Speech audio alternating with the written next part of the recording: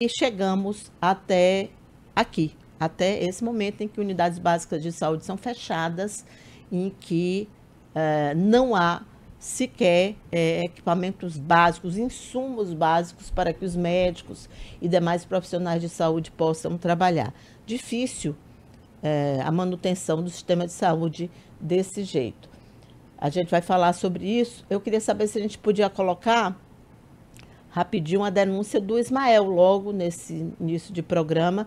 E também eu queria, é, como a gente combinou aí, Liza, aquele vídeo em que a plateia reage à ausência dos vereadores. Tem como a gente usá-los agora?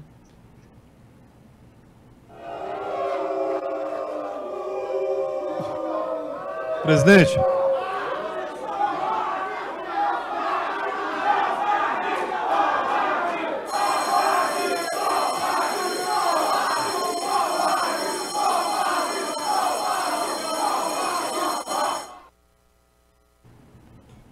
Eu confesso a Vossa Excelência que para mim é uma vergonha hoje estar nessa casa, não pela convocação de Vossa Excelência, mas pelo desrespeito que nós estamos vendo à população de Teresina aqui nessa casa, justamente pelo posicionamento da gestão, ao tentar nos bastidores aí fazer com que os parlamentares não estivessem aqui.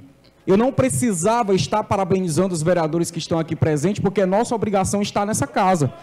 Mas mas aqui eu quero ressaltar, quero ressaltar a coragem dos colegas que aqui estão hoje e que não se renderam às propostas miseráveis e imorais da Prefeitura de Teresina.